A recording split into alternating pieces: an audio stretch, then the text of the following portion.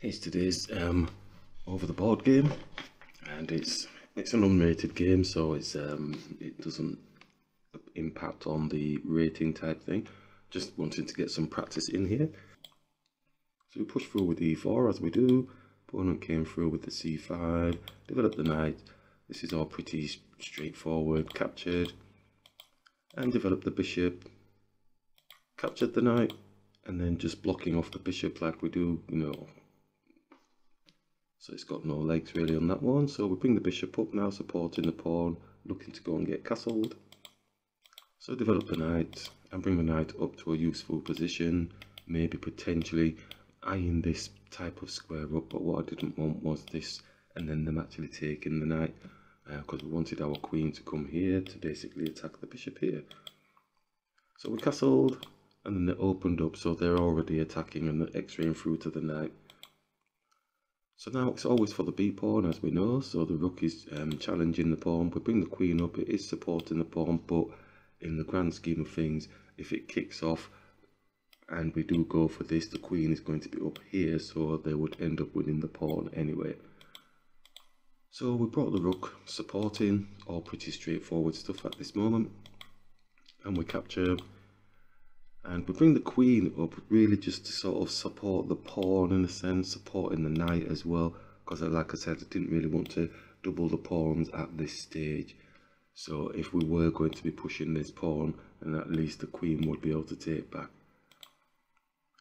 So now they're looking to challenge this area here. So felt fairly comfortable with that situation and looking to double up ourselves. So just supporting at this moment. Gauge bar doesn't like it. It's fair fair enough and they brought the queen back so now they've got like a triple dose on here but they're going to have to manage attacking somehow so again wasn't too worried about that.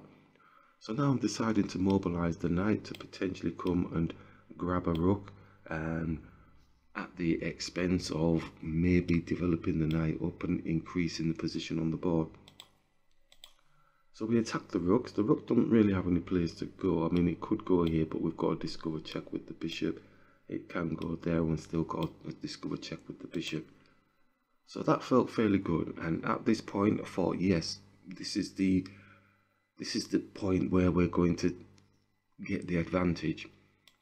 So we grab the pawn because obviously the bishop is actually um, attacking the rook and if they decided to say if they move this rook you know, maybe to here to attack the knight, that would be for free. So there was lots of woods cuds type situation and the opponent brought the rook back and I thought, oh my gosh, they've defended, how have they defended that? I wanted to get it for free. So I was more to set on actually doing this knight move. I did really consider pushing the pawn onto the knight. I thought that was probably a better way to go because um, our queen doesn't have any protection on it. So I'm thinking I'm losing tempo now. And are they going to get our knight for free somehow? So it's funny when you're seeing it over the board. Looking at it now, it looks pretty straightforward. Because all I need to do was this. But I'm thinking if his rook comes and puts a um, check on our knight, then he's going to have a two on one and my knight has to move but it can't protect the queen. So they're going to get our queen for free. But that's not the case. So I should have just played this particular move. Nice and simple and straightforward. It's also attacking the knight. What was I worried about? I was worried about the knight actually coming here and attacking our queen So then we would have to move, but the pawn is protecting the knight. So we would be able to come and attack here with our queen. So now the picture looks so clear. But because I was so motor set with this knight move here, it was it was kind of a waste of a move. Really I wanted to take this but I couldn't because obviously there I should have just done this. But even then, they're going to get the knight. So they're getting the knight for free. even if you push that pawn. So what what is it? Why is it showing that that's a benefit? I'm actually going to just touch onto it now. So obviously this is going to take, isn't it? If it does take though, we get a check on the king with our pawn. Or does the queen take? Queen takes with a check on the king. Oh, savage. Ah. Okay, so the capture, so at this point now we're kind of on the back foot. And we're trying. Before they did this move, I was like thinking, oh, we could push onto the knight here. And then we've got like a lovely check on the king here once the knight moves. But that didn't happen.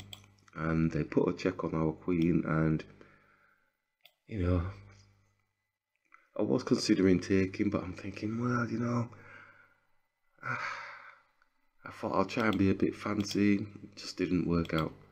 So we put a check on the king and we pushed on to the knight, trying to get rid of the knight, maybe trying to squeeze something in. The queen's got nothing.